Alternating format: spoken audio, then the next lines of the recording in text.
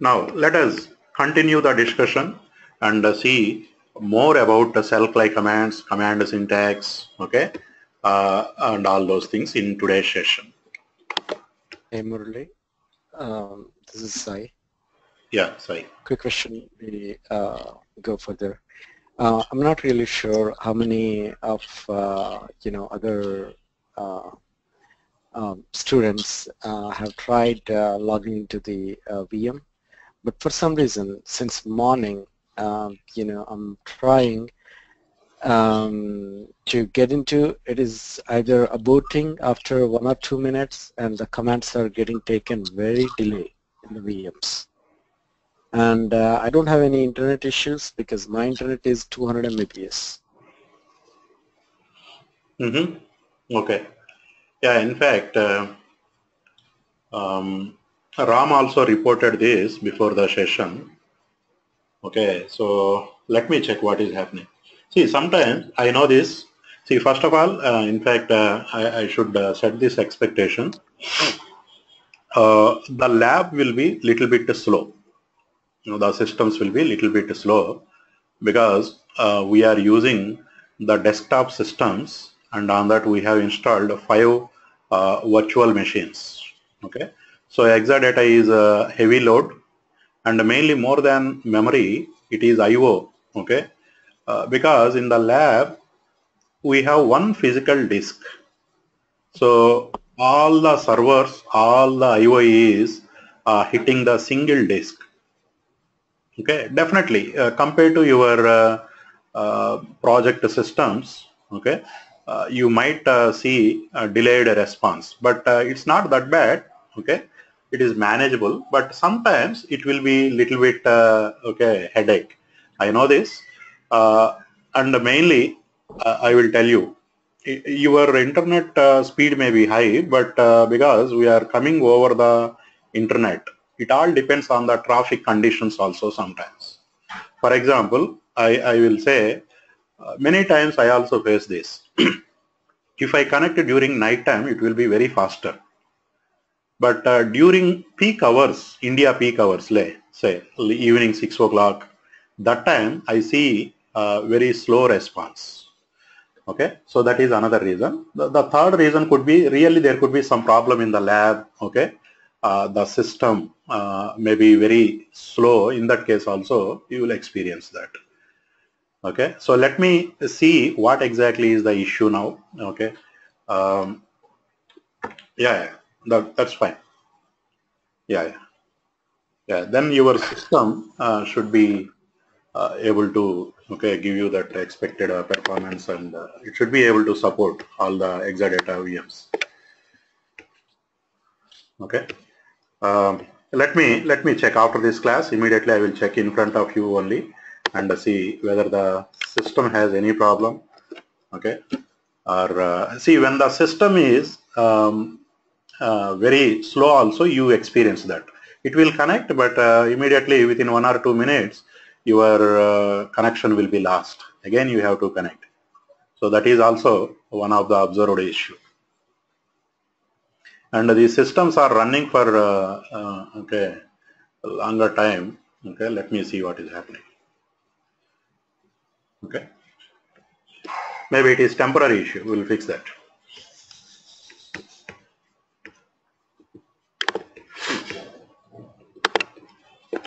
Okay. Um, so today let us see more about uh, CellCli commands.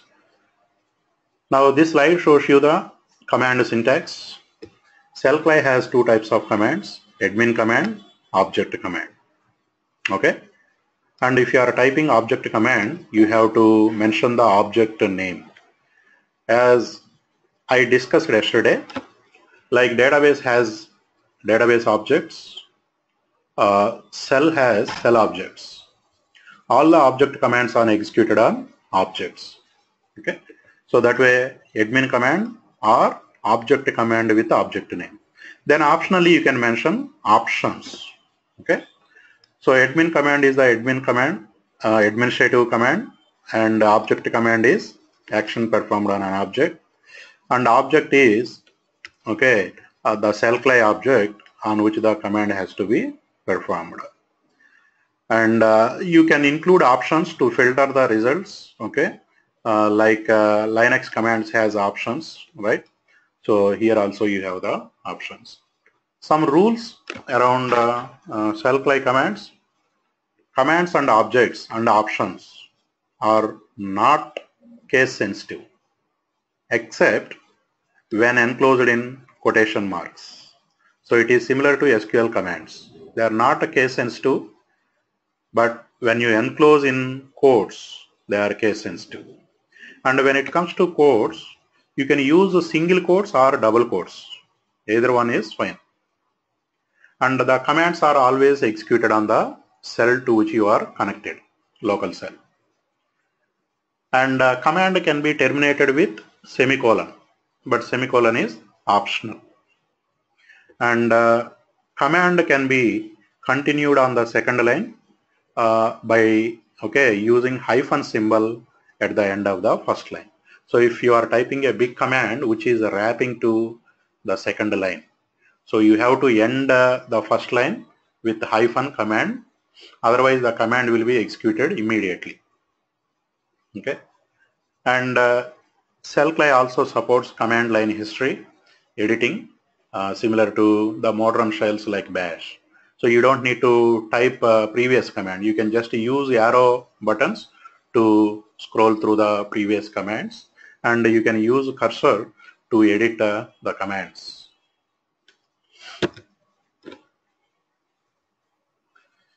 So this slide shows you uh, the two categories of CellCli commands and uh, the CellCli objects. CellCli has admin commands and object commands. Admin commands are okay like your SQL plus commands like exit, help, quit, set, spool, start. Okay, so these are not really uh, useful commands maybe. Okay, um, like your SQL plus formatting commands. Then the main commands are object commands. You have create command, you have alter command, you have okay describe command, drop command, export, grant. Okay, there are many commands under this category.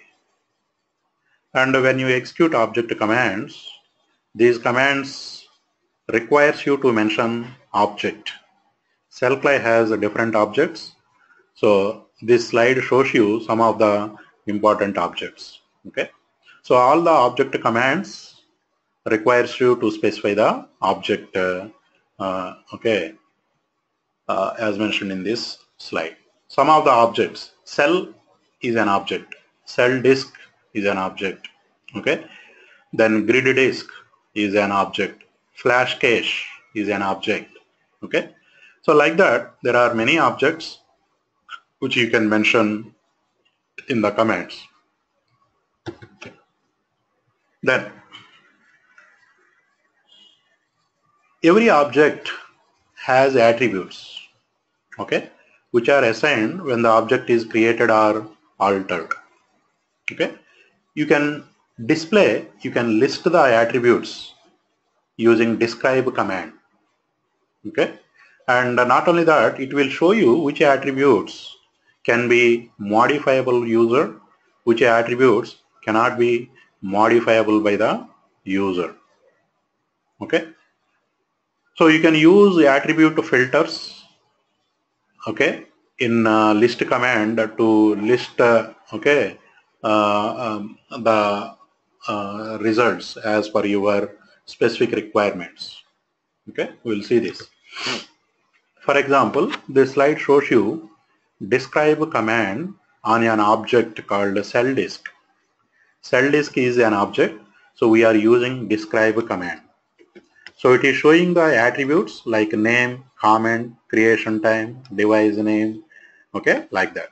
These are the attributes. And uh, in the next column, it is showing you which attributes can be modifiable. Okay, so out of all these attributes, you can modify only name and the comment. Other attributes are fixed, you cannot modify them.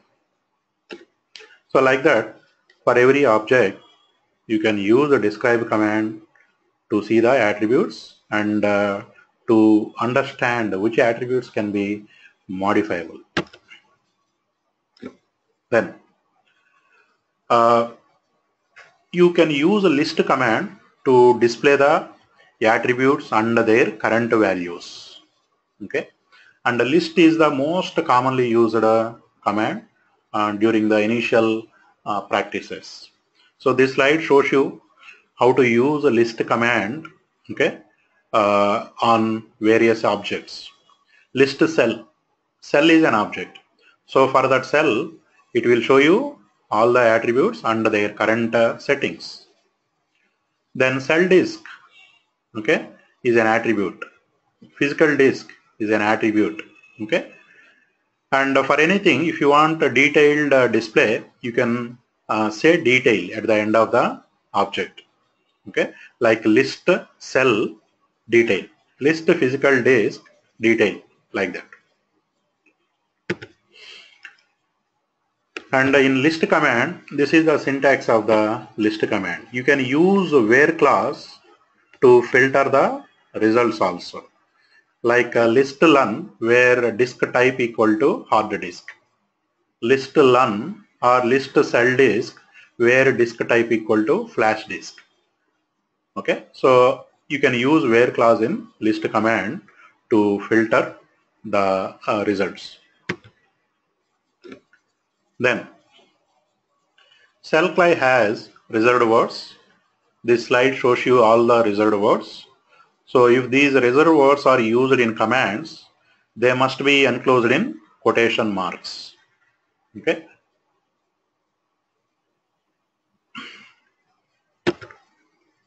So that is about uh, uh, commands, the syntax, the rules around the commands and the reserved words. Now, next uh, utility is dcli.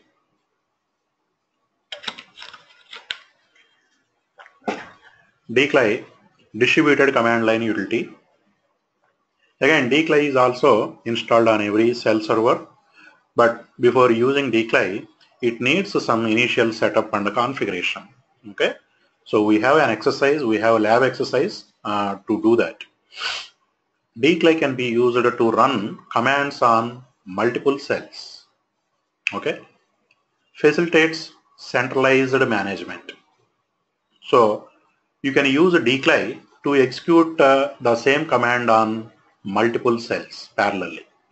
Instead of logging into every cell and uh, executing the command individually, you can configure dcli and from one of the node, you can fire the command to execute this command on multiple cells. dcli can be used to run cell commands, okay? And not only cell commands, you can even run operating system commands with the dcli. And you can even copy files with the dcli. Okay. Suppose on a real uh, full rack machine, you have 14 storage servers. Suppose you want to copy a file to all the 14 storage servers. Okay. You can use dcli to copy this file. With one command, it will copy to all the storage servers. Instead of you connecting to every server individually and copying that file. Okay, 14 times. You can use dcli. So dcli uh, supports more commands. It supports all the CellCli commands. Additionally, you can run operating system commands also. And you can copy files. So that way it is very useful for uh, centralized management.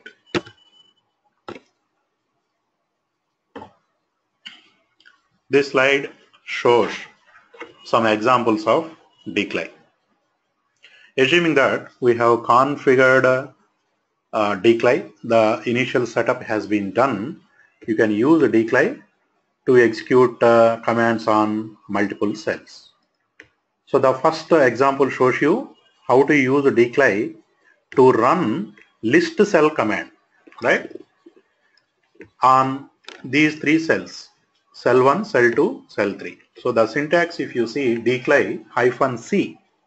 So then you need to specify the cell names, each cell name separated with comma.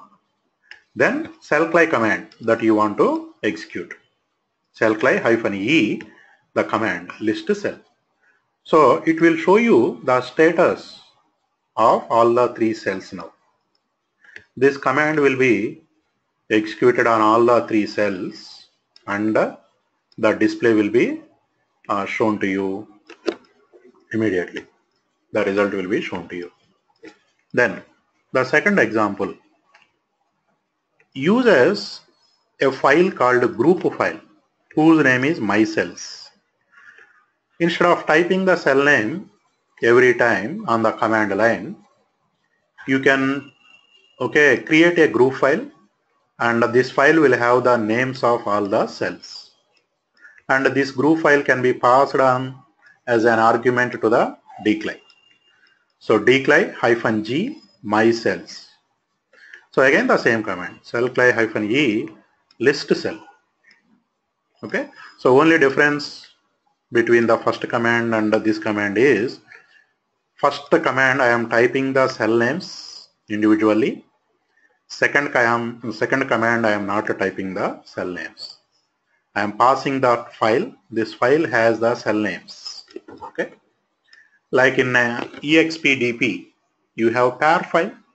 Instead of typing the export parameters on the command line every time, you can create a parfile, include the parameters in that file, and pass this parfile as an argument to your expdp or impdp. So it is similar to that. And the third uh, command shows you how to execute operating system commands. So here I want to see whether all the storage servers, okay, the time is synchronized or not, running the same time or not. So in real time you will have 14 storage servers. Instead of you connecting to every storage server individually and executing date command and checking the date and the time, you can use a dcli from one of the cell and uh, execute the command. So that way dcli is very useful for centralized administration. From one cell you can execute commands on multiple cells. Okay, so let me show you um, few commands on the system now. Let me log in and uh, so that I can also check your issue. Yesterday I was a little bit busy. I okay I I could not spend the time on our this thing. I'm also trying some different setup with uh, SSD storage for faster access.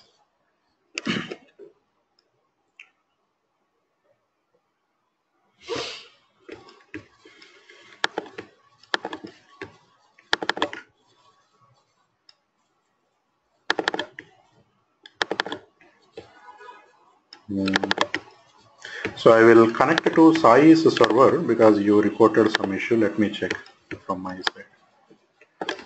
130, right?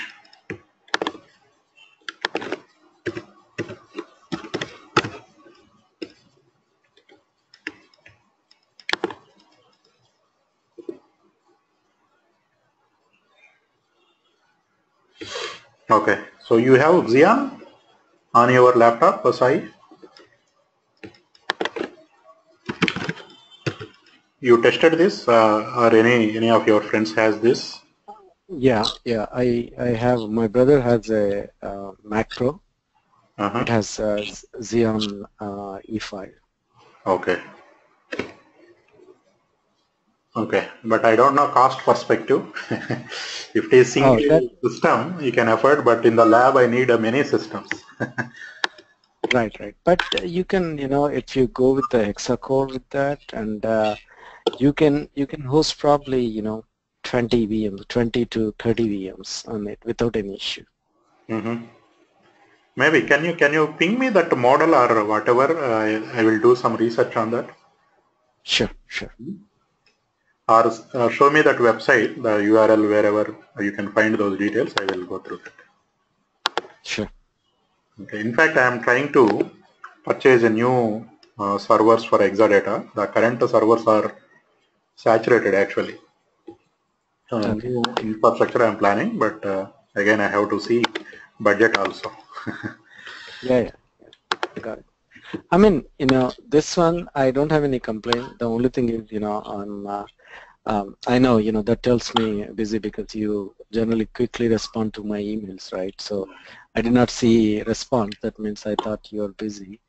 Yeah, All I want I was- instructions so that, uh, yeah, I can build on my own so that I don't need to, you know, even use these, uh, you know, Hmm. the uh, Yeah. over the, Okay. Yeah, do one thing. If you want to build on your own, Yeah. I would suggest, it is up to you, I would suggest you to do this after the course because it is very lengthy and complicated process. Okay. And it might take long, long time. Okay, maybe one week time or okay, three, four days time minimum. And you may get into different issues during the setup and the configuration. Okay, so it is always advisable to do this after the course. By that time, you will have more knowledge about the Exadata and you can ev- easily troubleshoot and uh, quickly set up that. yeah no problem. Okay. But it is up to you. If you want to, if you have time, you can do now. Yeah. Uh, I mean, you know, this is my passion. I build a lot of systems, uh, Mm. especially in the virtual environment. Uh, so Yeah. that's it. Mm, okay, no problem.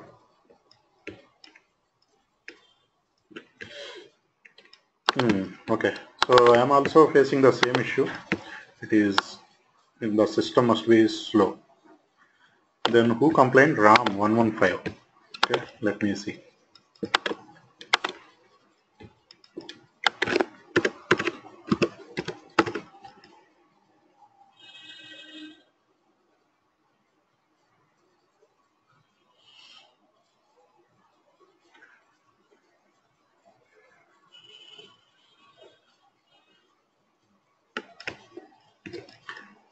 So if this is happening, um, the basic check that you can do, I, I'm sure everybody knows.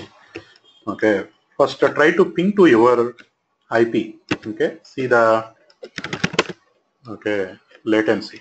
Suppose 192, 168, 1.115. That will tell you a little bit more. 115. Okay, so it says a destination host unreachable. Maybe there is some network problem. Okay, first of all, it is not even pinging, so you cannot obviously SSH. But if you try to ping to Sai system 130, right? It is pinging, right? So, so that means you should be able to SSH now, and if you are disconnecting immediately, the system may be hmm. experiencing the ah, sessions. Okay. Yeah, there is a issue. If you use the ping uh, dash T and the IP address, it will break. Yeah, yeah. some- in some- between it will show you timeout. Yes, yeah, that is what is happening. So some packets may drop under timeout. Okay, with extended uh, statistics. Yeah. Yeah. So it's also not very stable. Your uh, system. Yeah, first I thought maybe you have some issues because of the rain. I, I heard a lot of rain, right? Yeah. So I, some, some I you don't know. okay. Anyway, my team will come now. Eight o'clock IST. 8 a.m. to 8 p.m. The support team is available. So I will ask them to see what is happening in the lab. Okay.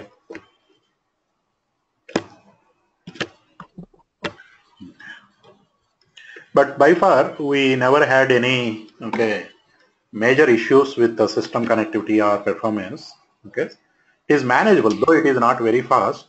It is reasonable and uh, yeah, yeah, yeah. Yesterday, yesterday it was fine. No, no issues. I mean, I checked, right? So hmm, only today uh, there must be some issue.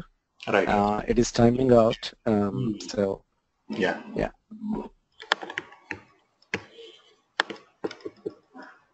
Just let me take few more minutes and see with other servers.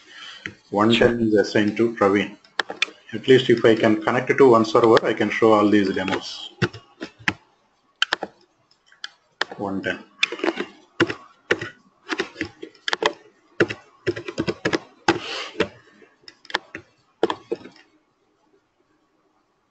Hmm.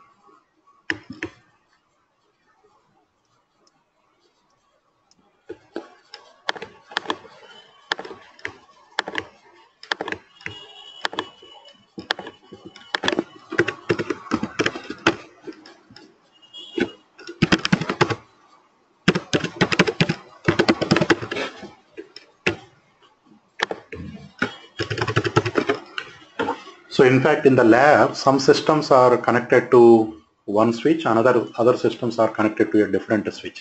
Sometimes uh, switch level issues also will uh, okay create these kind of issues. We may have to restart the switch because these switches are not uh, okay the data center level kind of switches which need to be restarted every now and then.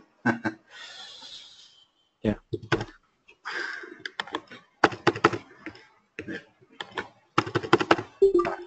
Again, I got okay. So let us log into SSH to the storage server, one of the storage server.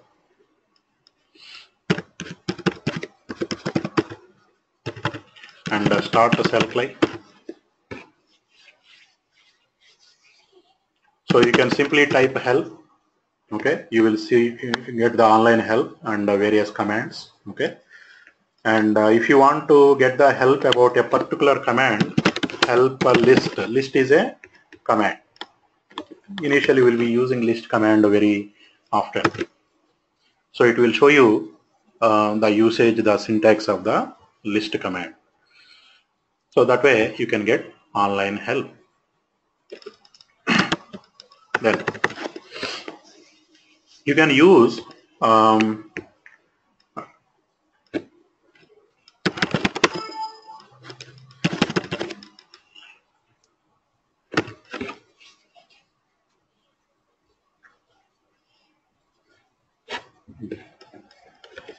when it is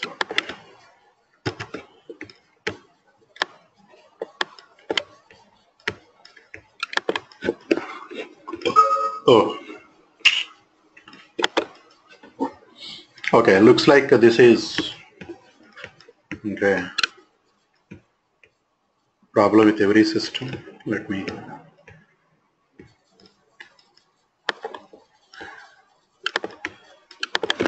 let me ping to my team.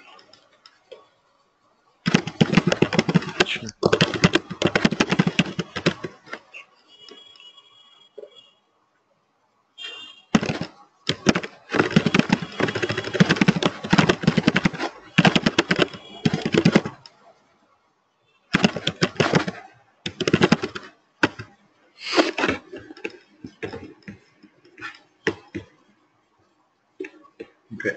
So I am sure uh, you must have noted we have a support group. Uh, you can reach them over Skype. The Skype ID is euclid.support. You can reach them over mail. Again, the mail ID is euclid.support at the rate euclidit.com. Okay.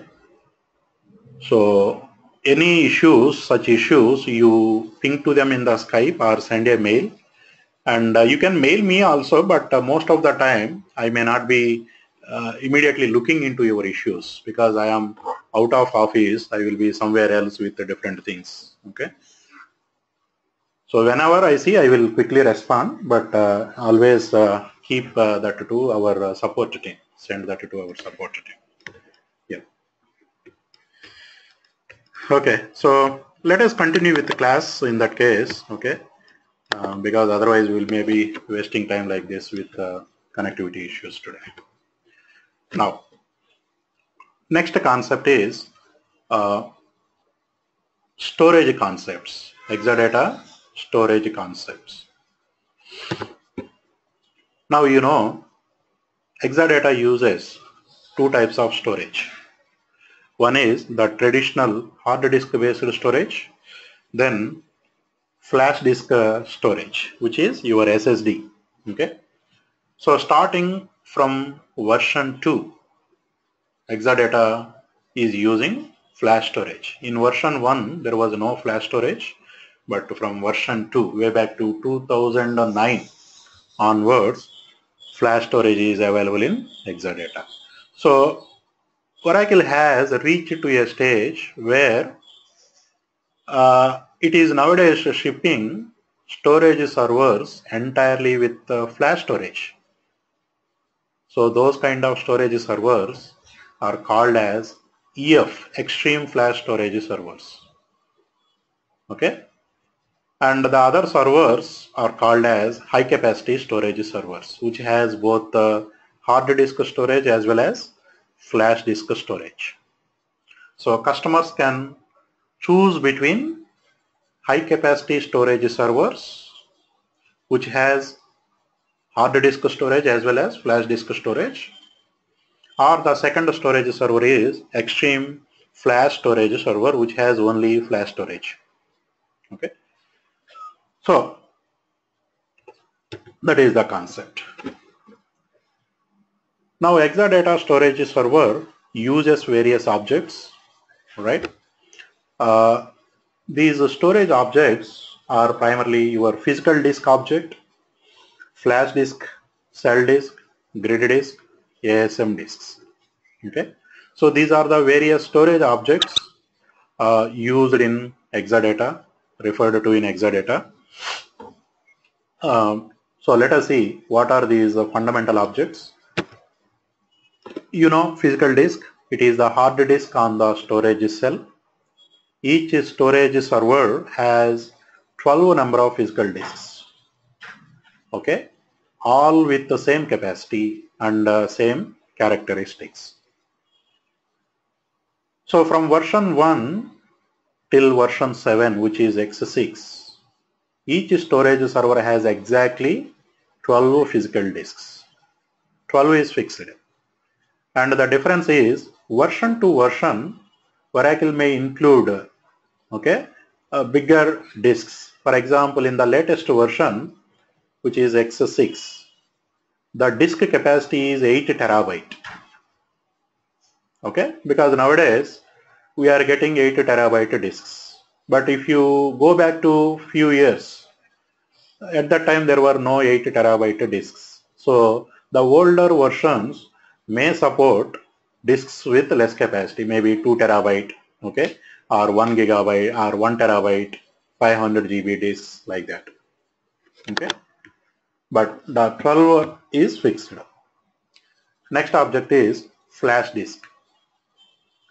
So these flash disks are present only on the storage server, not on the database server.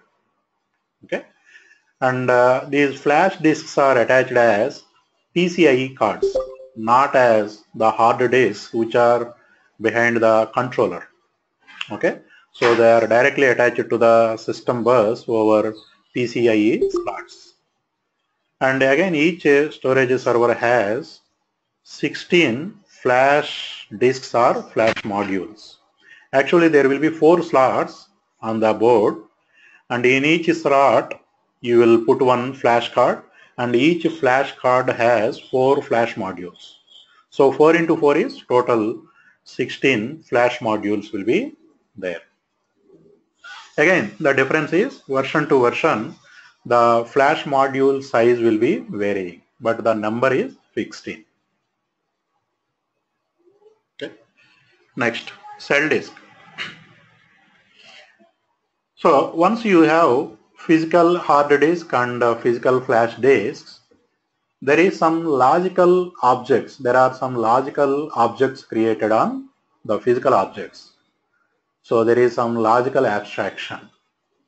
So in this logical layer, you will have two more objects called cell disk and grid disks. So hard disk and flash disk are physical, cell disk and the grid disks are logical. Okay. On every disk, whether it is hard disk or flash disk, okay, hard disk or flash disk, Exadata storage server creates something called as cell disk. Okay, and in fact, every hard disk or every flash disk is automatically detected by the storage server as a LUN. Okay, LUN. LUN is the storage term, right? Logical unit number or logical unit. So you have 12 hard disks. That means at Exadata storage level, you have 12 LUNs. Then you have 16 flash disks. Okay. That means at uh, Exadata storage server level, you have 16 LUNs, right? On every LUN, we create a cell disk. Okay? We create cell disk. Cell disk is a logical disk created on every physical disk and every flash disk. Cell disks are created, okay, cell disks created on the physical disks are named as CD, okay, the disk number 01, 00, 01 up to 011 and uh, cell name. So this is the standard naming convention used for cell disks, right? Then cell disks created on the flash disk are named as FD, again the same convention. So if the cell disk name is starting with the CD, it is created on the hard disk.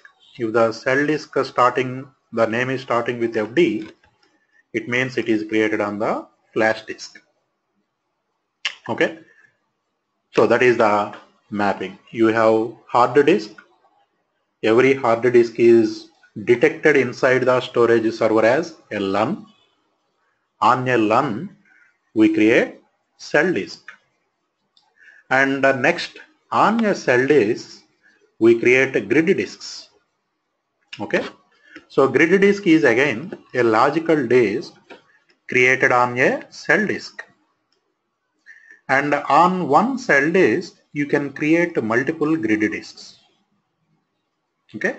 Again, how many grid disks you will create depends on how many ASM disk groups you are going to create ultimately. Okay. So can be created on these grid disks can be created on hard disk based cell disks or flash disk based cell disks. Okay. So next you have ASM disk and ASM disk is nothing but a grid disk in Exadata storage server which is okay every grid disk is visible to ASM as an ASM disk. And you know grid disk is used to create ASM disk groups. And uh, once you create a disk group your storage clients like uh, database clients can use the ASM disk groups to store the data. Okay? So this is the hierarchy of the objects in Exadata you have hard disk or flash disk. On a hard disk we create a cell disk. Or on flash disk we create a cell disk. And once a cell disk is created we create a grid disks on the cell disk. And these grid disks are visible to ASM as ASM disks. Okay so let us understand more about these uh, okay disks in Exadata. So if you see uh, the storage server, every storage server has 12 disks exactly, right? 12 hard disks.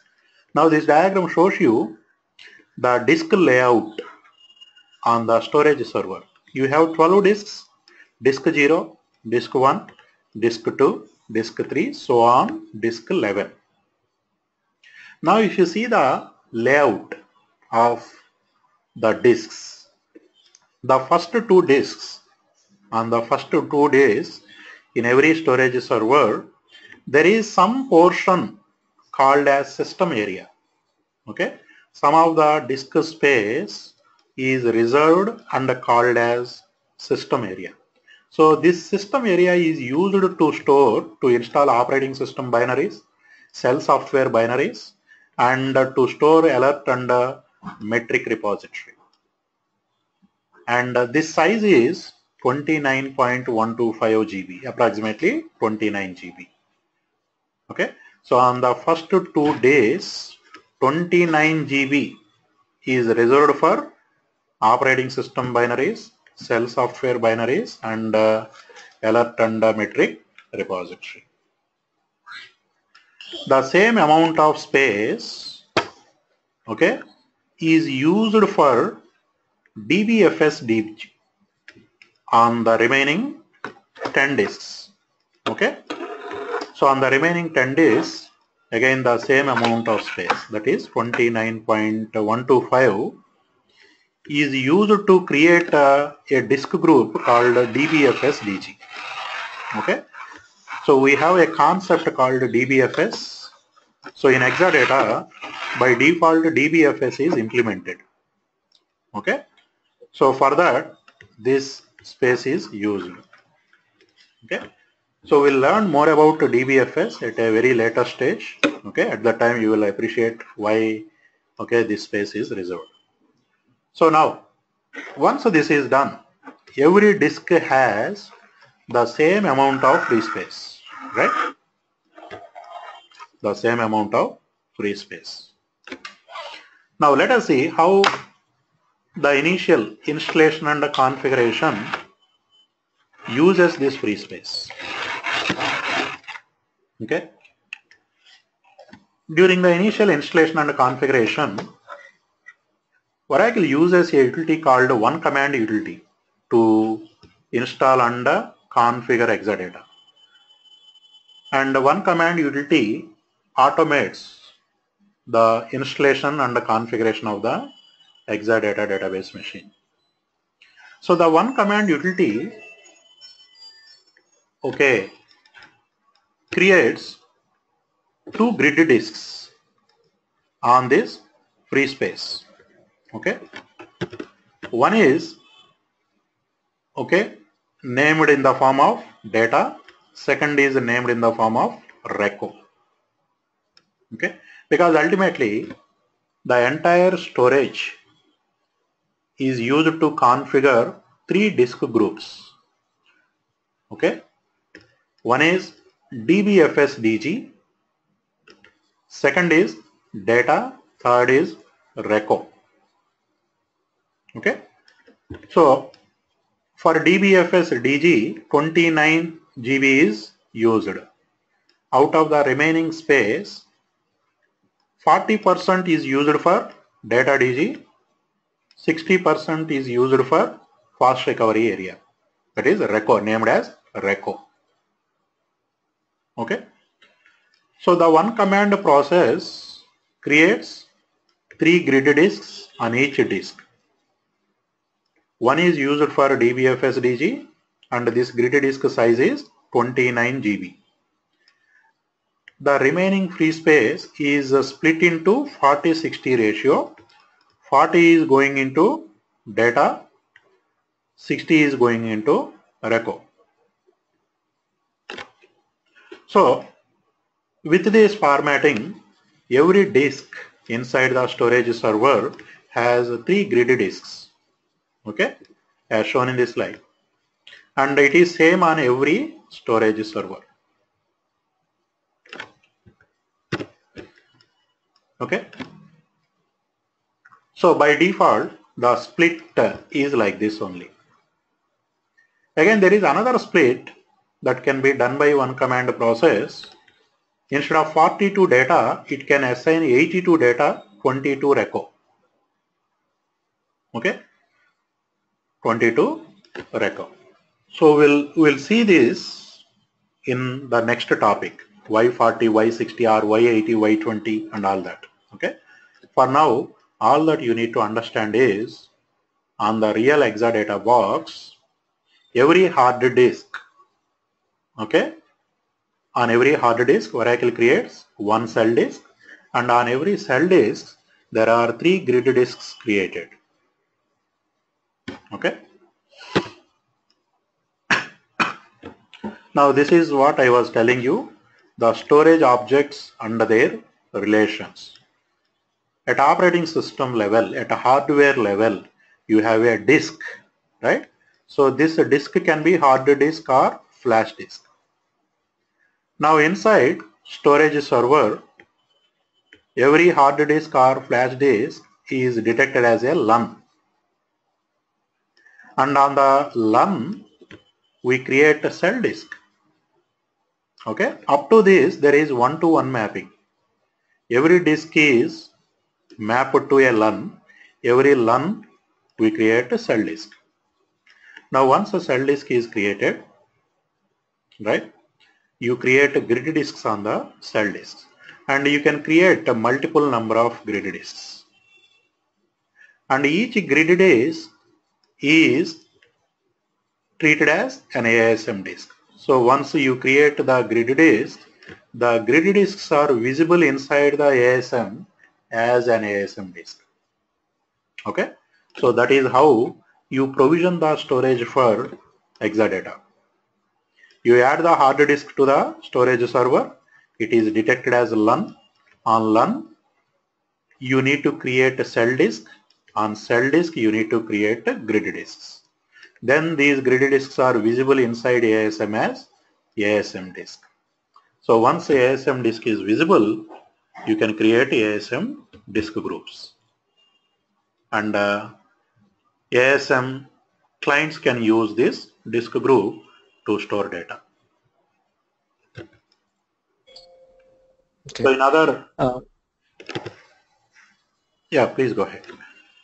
Yeah, so this is, uh, you know, the lower level, uh, the physical disk is, uh, I mean, if I understood, disk is representing a, a physical disk, whether it is a flash or a physical, I mean, a regular disk, right? Correct. So that means at the end state, is it going to be like a disk equivalent to, you know, uh, in a normal storage, I can carve out a LUN. I mean, uh, one di- I, I can carve out LUNs, meaning nothing but a partition. Yeah. Uh, multi, multiple LUNs on a, a, a single disk or a bunch of, you know, RAID disk, right? Mhm. So here, is it going to be uh, one disk, one ASM disk, or one disk can be created as multiple LUNs and uh, those can be added as uh, uh, different disks to ASM level? Here, one disk is treated as one LUN. One physical disk is treated as one LUN. And so, go Yeah. ahead, go ahead. on a LUN, we create a cell disk. Again, once one LUN is equivalent to one cell disk. Right? And on a cell disk, you can create multiple grid disks. Oh, okay, okay. That that part I missed. Okay. Now, from the grid disk, I would convert into a regular way, like Yeah. you know, each disk is a a, a, a LUN, and I can add to different uh, disk groups, right? Correct, correct. Each grid disk can be, okay, part of different uh, disk groups. Great. Okay. Yeah. Got it. Thank you.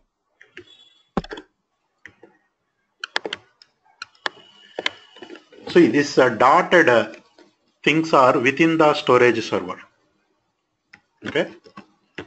So if you see, these objects are within the storage server layer. Disk is at OS level, at hardware level. Then again, ASM disk is within ASM. Okay. So these three are your storage server objects, logical abstraction of the physical disk.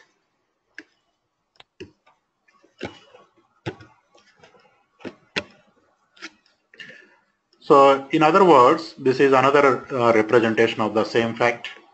You have physical disks which are treated as a LUN, right? On that we create a cell disk and on a cell disk we create a grid disk and each grid disk, okay, on a cell disk you can create uh, a single grid disk or multiple grid disks. And each disk grid disk is treated as an ASM disk and with that you can create ASM disk group. So ultimately each grid disk is consumed inside the ASM disk group. Okay. Okay. So, um, Murali, so with this, I mean, maybe you are going to cover, but uh, you know, stop me if it is going to cover. Yeah. So here, do we have to enable the redundancy at the ASM level or the actual LUNs also uh, in the Exadata can be raided? raided? Um, no, these LUNs are hard disks doesn't have RAID actually. Okay, inside the storage server. So when you create disk groups, ASM disk groups, then I need to go redundancy. redundancy, you need to mention the redundancy, correct. Got it. Yeah. Okay, thank you. So now, actually, this is hard disk, the relation. Okay, let me be very specific. I'm sorry, I'm modifying during the class itself. I should have done this before. To bring in more clarity, I am doing these uh, changes on the fly. Now, the disk can be hard disk or flash disk, right? So when you use a hard disk, this is the hierarchy of the objects. Every hard disk is detected as a LUN inside the storage server. On every LUN, we create a cell disk. There is create a cell disk command. Okay. So with that we create cell disk. Then on every cell disk, you can create a multiple number of grid disks or a single grid disk. Uh, once a grid disk is created, it is exposed to ASM as an ASM disk. So within ASM, you create ASM disk groups utilizing all these grid disks. So that is how the disk space is provisioned. Now instead of hard disk, you may use a flash disk also, right? You may use flash disk or flash storage. So in that case, how this flash disk or flash storage is used? Because Oracle can use a flash storage uh, in uh, different ways. Okay, hard disk is ultimately used as an ASM disk to create ASM disk groups. Now when it comes to flash storage, again every flash disk is exposed to storage server, Exadata storage server as a LUN. On the LUN again we create cell disk. Now this cell disk can be used in two different ways.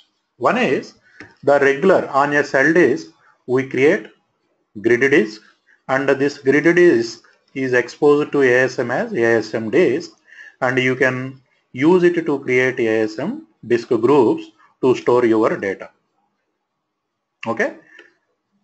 But Oracle doesn't do this by default. Instead, all the flash storage is uh, configured as flash cache and flash log. Okay. So that means on the flash storage, Oracle doesn't create any grid disks. And uh, Oracle will not use it to create ASM disk groups. Instead, there are two features in Exadata storage server called as Smart Flash Cache, Smart Flash Log. Okay.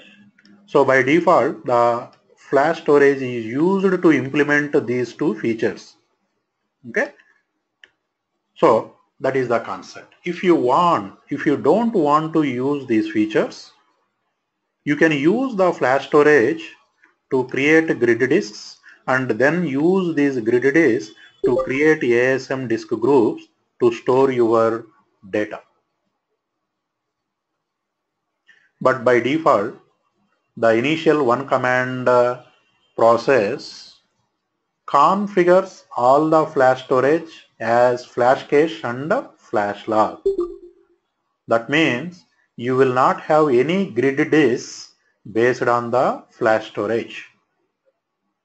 You will have grid disks based on the hard disk only. But anytime you can drop the flash cache and flash log and use the flash storage to create a grid disks. In the lab, we are going to do all these things. Okay. We by default again I implemented flash cache and flash log in the lab. You will break that. You will create grid disks on the flash storage and uh, create ASM disk groups. Again you will break them and again uh, implement a flash cache and a flash log. So all these things okay, we are going to practically implement in the lab. Okay. So that is the con. I know um, initially it will be a little bit confusing because uh, traditionally we are used to database related things, but these are purely storage related concepts which may be confusing at times. Okay. Again, another representation. You have flash-based LUN on which we create cell disk, and uh, this cell disk can be used for two purposes: to create grid disk or to create flash cache and flash log. Okay. So if you want, you can implement both. Some storage can be used to create a grid disk and the remaining space, the remaining storage can be used to implement a flash cache and a flash log.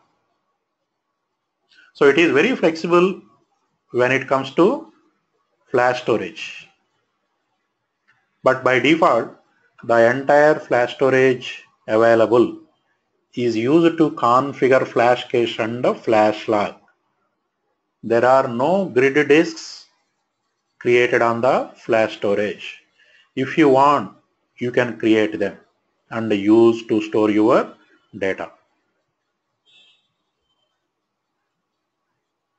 Is this uh, clear or any confusion?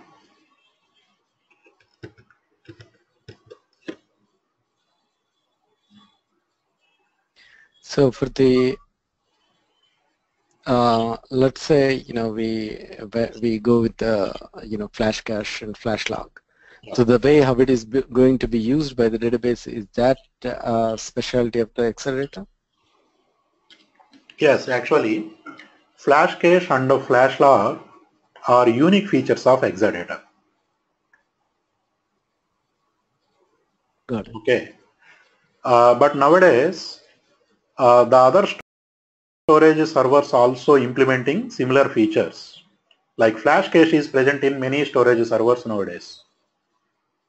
But the way that flash cache works is very different from the way Exadata flash cache works. Okay, Exadata flash cache is more intelligent. Okay, and uh, that way it is very different from the flash cache concept in third-party storage servers. we'll see. We have dedicated topics for flash cache and flash log. So at that time, we'll see more details and uh, what is that intelligence compared to other storage servers.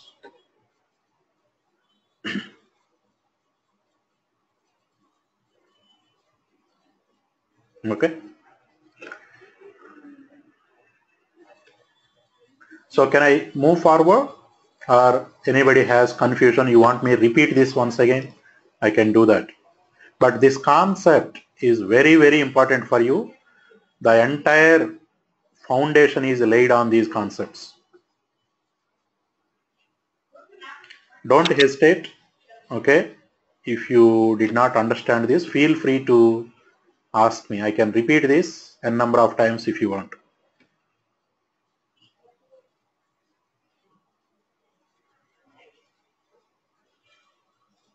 Okay. So if no issue, then we'll move forward. But still, if you has any confusion at later stage also, free, feel free tomorrow, day after tomorrow, anytime, you ask me. I can repeat this topic if required.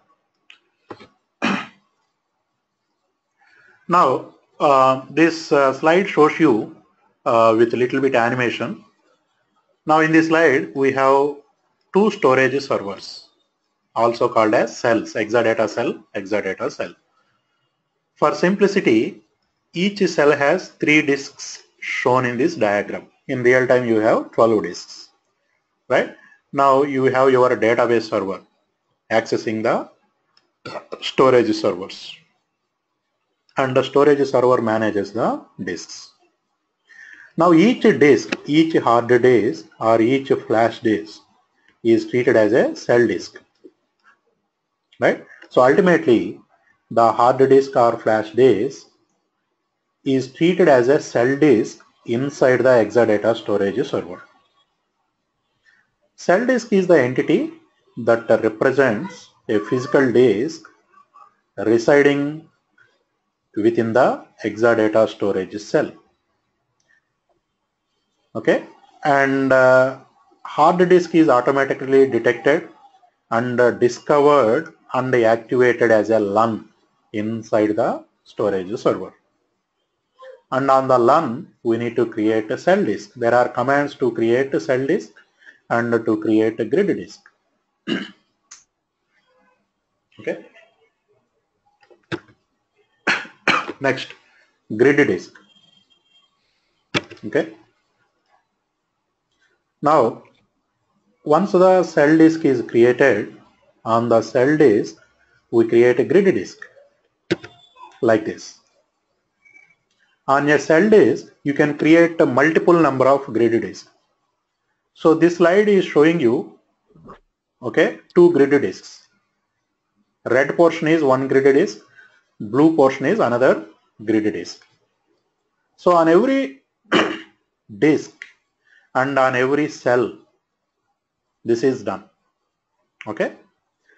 Cell disks are logically partitioned into grid disks. Cell disks are logically partitioned into grid disks. How many grid disks? It depends on how many ASM disk groups you are going to implement on this storage. Suppose at ASM level, ultimately you are going to create two disk groups. Then on every cell disk, you create two grid disks only. Or suppose you are going to create four ASM disk groups. Then on every cell disk, you will create four grid disks. So ultimately it is driven by how many ASM disk groups you are going to create at the storage level.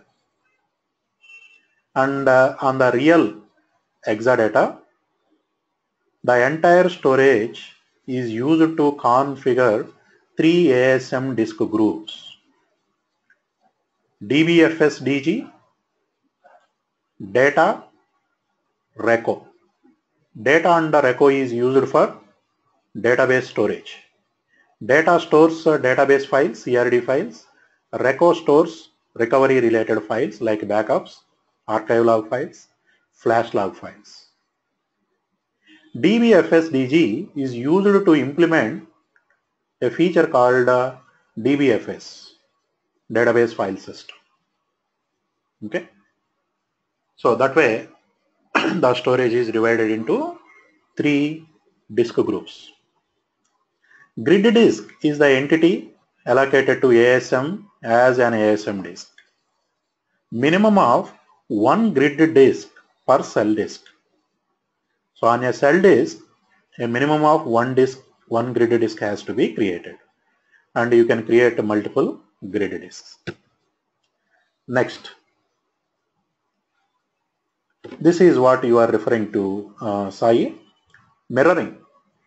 Okay, redundancy.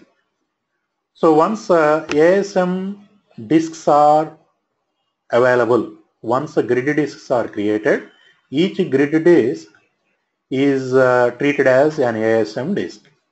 And uh, we use these grid disks to create ASM disk groups. For example, in this slide, the red portion is a grid disk. Each red uh, portion is a grid disk. Nothing but ASM disk. So we use all these grid disks to create ASM disk group. Okay. ASM striping evenly distributes I.O. across the disk group. So ASM has inbuilt striping mechanism. So the data will be striped across all the disks inside the disk group. Right? Then ASM mirroring is used to protect against disk failures or cell failures. So the mirroring is implemented at the ASM level. There is no hardware level RAID implemented inside the storage server.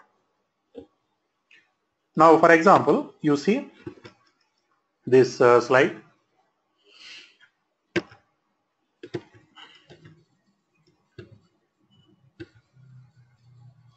Now, once uh, ASM disk group is created, Exadata automatically creates failure groups inside each disk group.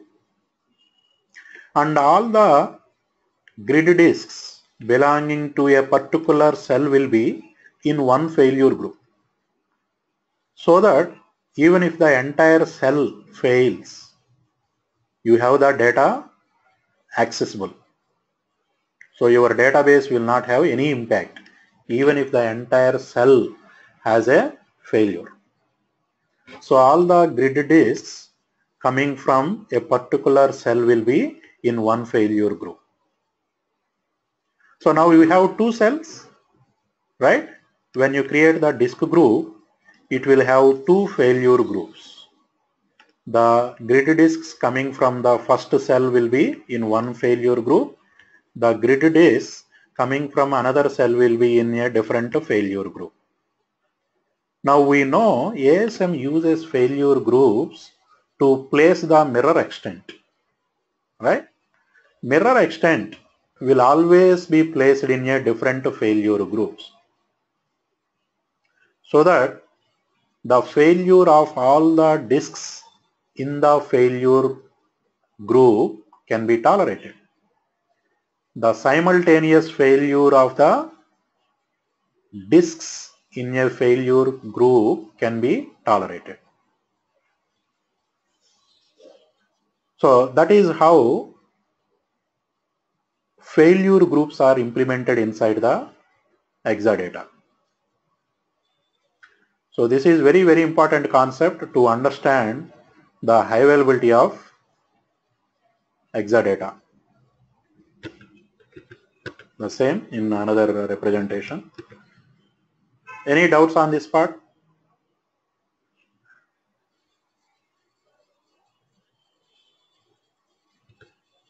I'm good. Yeah. So this is same representation. Now, when it comes to Exadata, there are some auto disk management features inside Exadata. Okay, these features are not available on non-Exadata platforms.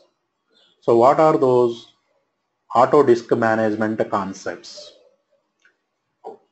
Now, whenever a grid disk status is changed to offline, the corresponding ASM disk is taken to offline inside ASM.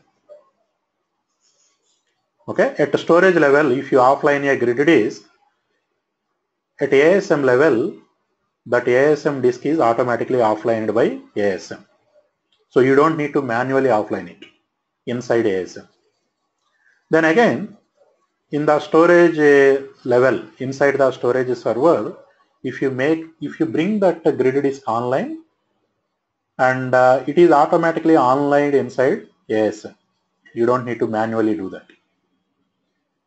That is one automation built into Exadata. Second automation is inside the storage server, you can activate, inactivate the grid disk.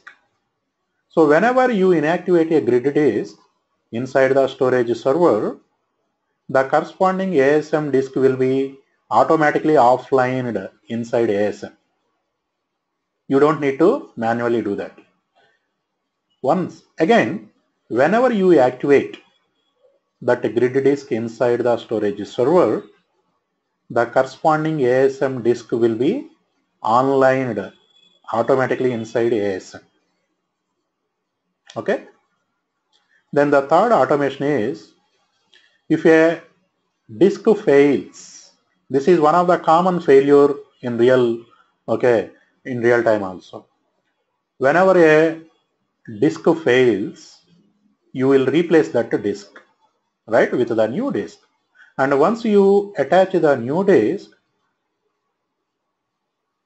Exadata storage server automatically creates a cell disk, automatically create uh, grid disks, and uh, these grid disks are automatically added to the disk group without any intervention from the user. Okay.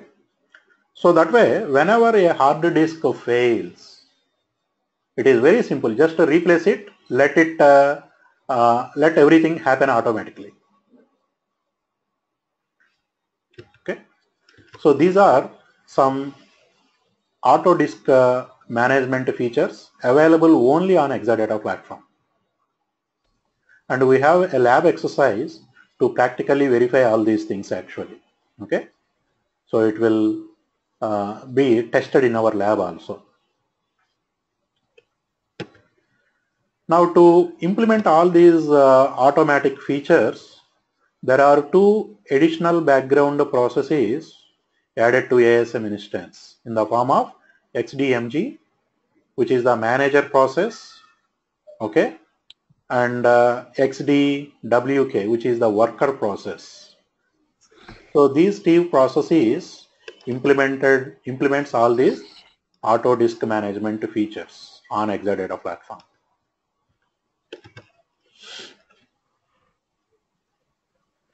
So this is some concept related to the storage server. Just a conceptual overview. Okay, later we will see the administration part of the storage server.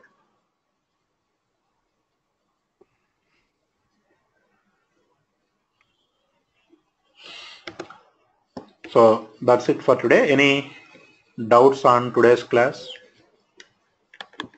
If no doubts, I will show you the demos that you can start and uh, practice up to now. So whatever we covered so far, slowly becoming complicated. Yes, that is uh, natural and normal, right? Because we are going deep in deep into the subject, right? But I will try to make it uh, as simple as possible.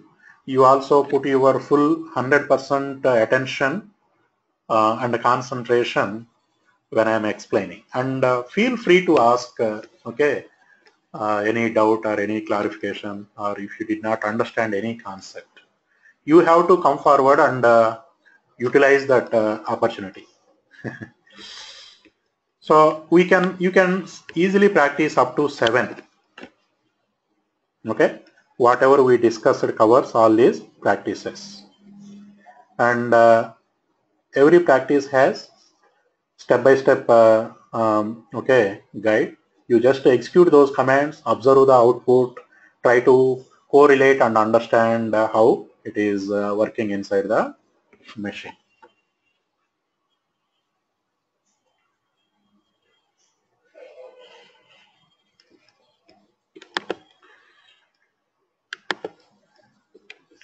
uh, let me see some in which case we can use this flash cache and flash log for database. Okay.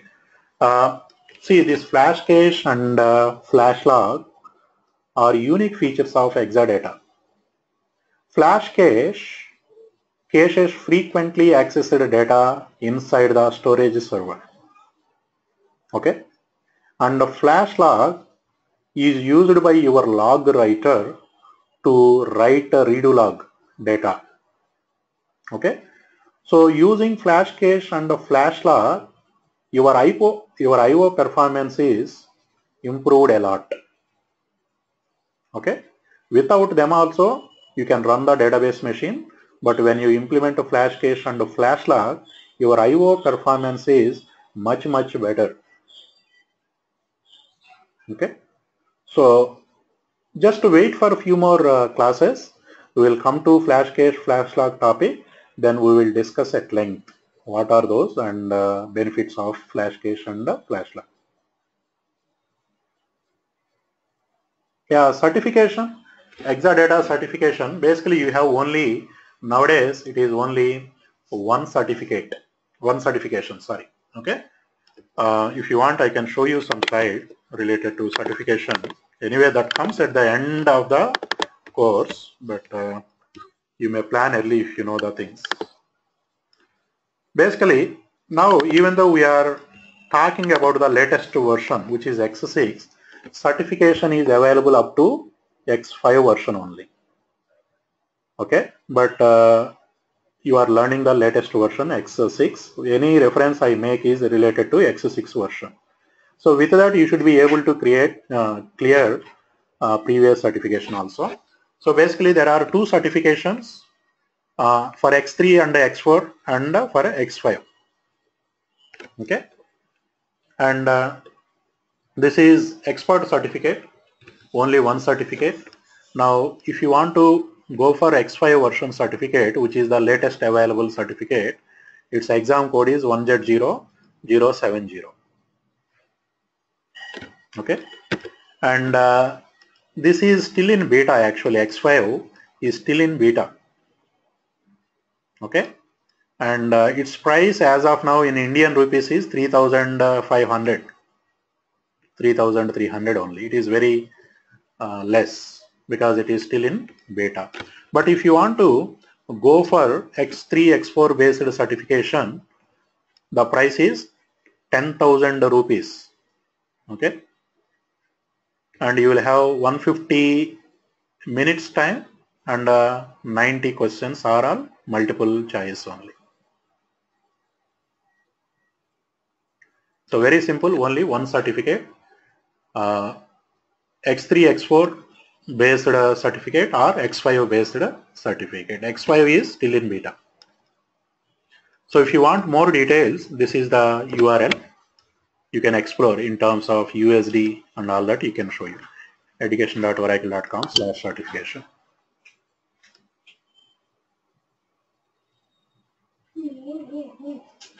Okay. Sai, is it clear? You got the details? Yeah, yeah, Murali. Yeah. Uh, and uh, I don't, I don't think uh, there is any prerequisite to have the uh, Oracle instructor-led or right. Oracle course, right? Luckily, as of now, there is no such a requirement. Yeah, that, that's good. Yeah, before the, you put uh, such thing, you better go for certification if you are planning. Yeah, yeah. Yeah. And uh, if you can, you know, uh, I posted two questions. So um, just look into if you can either you know give me if you want to talk I can give you a call or you know if you uh, can uh, reply to my email. Yeah, see once you log into Oracle Cloud, right, e-delivery uh, platform, you type exa here just. Okay. You can search with exa, then it will show you many things okay exa related products now if you come down it will show you exadata storage server software. This is the latest and the greatest. Okay? So you can choose any release and uh, download that. Okay. Okay. Okay? So in the lab I am using this 112321. I'm trying to compile 12C, 12 based uh, this thing, but uh, there are many issues in uh, 12C related thing, especially in the lab environment. Maybe on the real hardware it might be smooth, but in the lab it is becoming challenge. Okay, and uh, is there a, I mean, um, installation steps that you can, you know, share uh, for me to go ahead and uh, I've already got uh, the you know virtual boxes and VM VMware version you know running. Mm. so I can use the VM, I mean VirtualBox, uh, virtual, box. Yeah. So yeah, if you can you know uh, send me hmm. some kind of high level. Uh, I will I will send you some link. there are some sites which will talk about the step by step process. Okay. Sure uh, as such I don't have any documented uh, procedure because I know this procedure uh, for quite long time but I don't have specific document but I can share that uh, link with you. You can find a step-by-step -step process there. And if you face any yeah. problem I will I will be there for you. Great. Yeah that'll be great. Yeah. And the final question I need to talk to you um, the one I'm um, very serious about it. So um, either I can give you a call or whichever. Uh, okay, that is related to RAC and Golden Gate, right? Yeah. Okay. See, RAC and Golden Gate, we have standard course actually. You, you can go through our website, download the brochures and see the course topics. But if you are looking something uh, beyond that, we need to discuss. Yeah, that's what I'm saying. I mean, you know, um, I'm I'm kind of I'm looking into probably you know if you if you talk then you'll know what I'm looking for. So Okay. let me you know. Uh, maybe can we talk in the evening? Uh, I need to rush to Sure, office sure. now. No problem. No problem. Yeah. Evening uh, we can talk, no problem. That is your morning. Yeah, no problem. Sounds good. Yeah. Thank you. Thank you. No problem. Bye. Others, any more questions? Uh, Praveen, Yeah, Praveen. yeah, like uh, uh, regarding the cell disk, uh, like uh, out of cell disk, uh, we make the ASM disk, right? Yeah, on every cell disk, you create a grid disk. Grid Ah, disk disk, is nothing but your ASM disk. Yeah. So you mentioned that there is no hardware redundancy. Yeah, So like, we implemented the software. So for every disk group, there is uh, like if if you go for redundancy, there will be a failure group. right, right, exactly. So the redundancy is implemented inside ASM.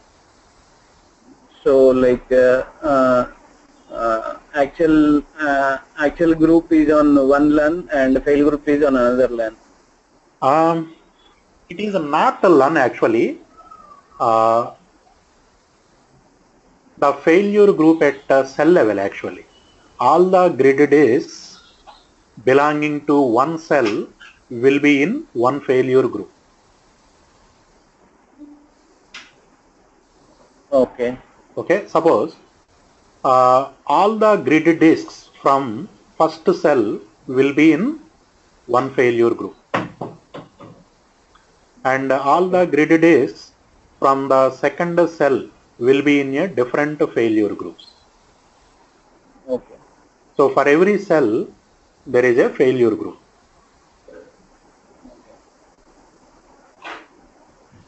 Okay. What uh, what I mean to ask is like uh, if both uh, failure group and actual group, if they fail at the same time, how do you like ensure high availability? Is it through RAC? It is, uh, no, no, storage level failures, okay, are okay, taken care with ASM redundancy. So when you create a disk group, you need to mention normal redundancy or high redundancy. Yeah. Based on that, your uh, ASM extents will be mirrored. Okay, by side. Okay. Okay. and uh, node level database server level failures are taken care with RAC. If one node fails, you will have another node and another instance Okay. that way. Okay. Yeah. Okay. Murali is Gangadhar. Yeah, Gangadhar. So don't we have in Exadata the external redundancy by any chance? No, no, no. On Exadata, you cannot use external redundancy. Okay, because there is no hardware level RAID implemented. Okay. If suppose a cell failures, then only the fail group will take care or uh, what will happen to that particular cell? Maybe the failure group will have the data. Correct, right. See, you have other cells, right? You have other cells. Yeah. the mirror extents will be on other cells. So that way you have data available to you without any problem. Yeah. Suppose a cell fails in the one fail group and some the data which is on that particular cell will be lost permanently and Yeah, yeah. the failure group is available, but how we are retrieving the data particular cell which is got lost.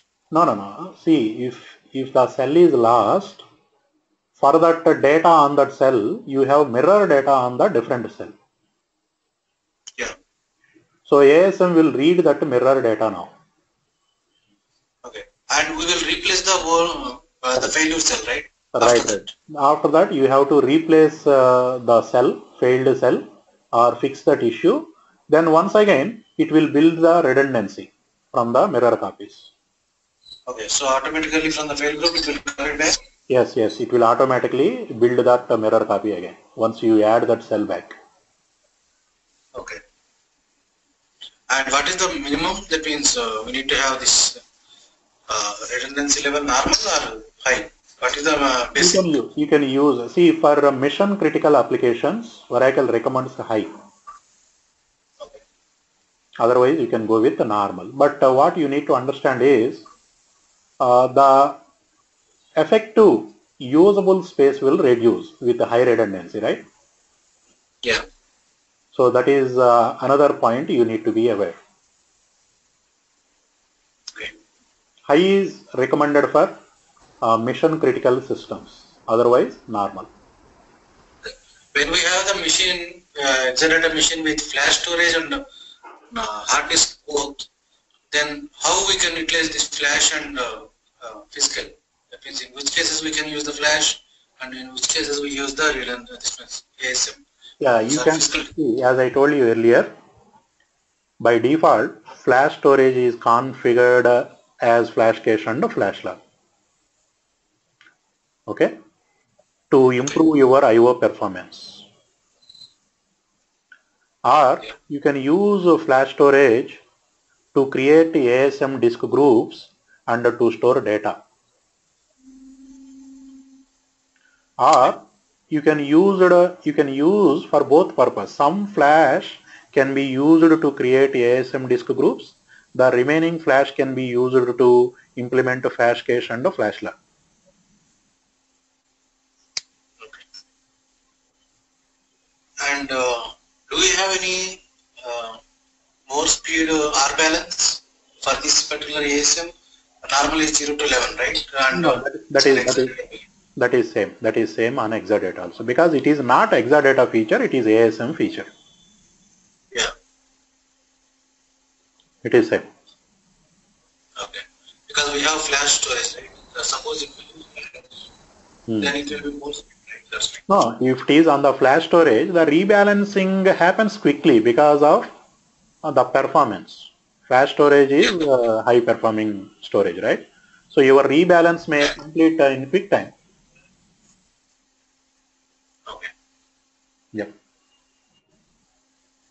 Uh, Murli, uh, suppose uh, can it withstand the two cell failures? Yeah, One cell is failed and also failure group cell is also failed. if, if you implement a high redundancy, it can withstand uh, two simultaneous failures of the cell.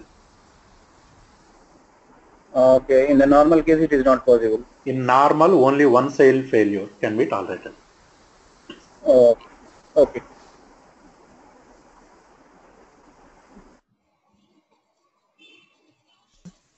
So if both fail, automatically it will fail over to the uh, disaster recovery area? Uh, no, DR, you are talking about standby? Yeah, that's right. Because if Yeah. we have two fail groups and both are failed, Uh, then you have to actually, you should have implemented a DR, okay, the standby database. So once the primary storage fails, the primary site uh, storage failure, you need to trigger um, failover, right, to the DR. So that has to be implemented. Without DR, uh, this is not uh, possible, right? So if you want to tolerate uh, storage failures, total storage failures, you should have implemented a DR. yeah, because of the catastrophic failure sometimes Yes, the site will not. Correct, correct, correct. So any disaster, you should have implemented a data guard. Okay, got it. Thank you. Yeah.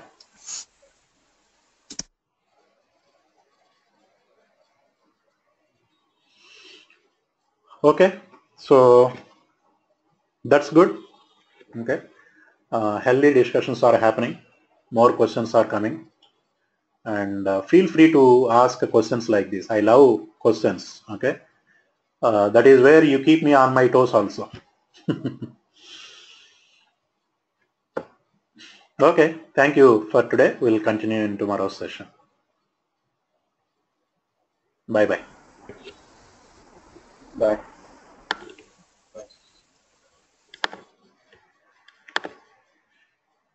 Thank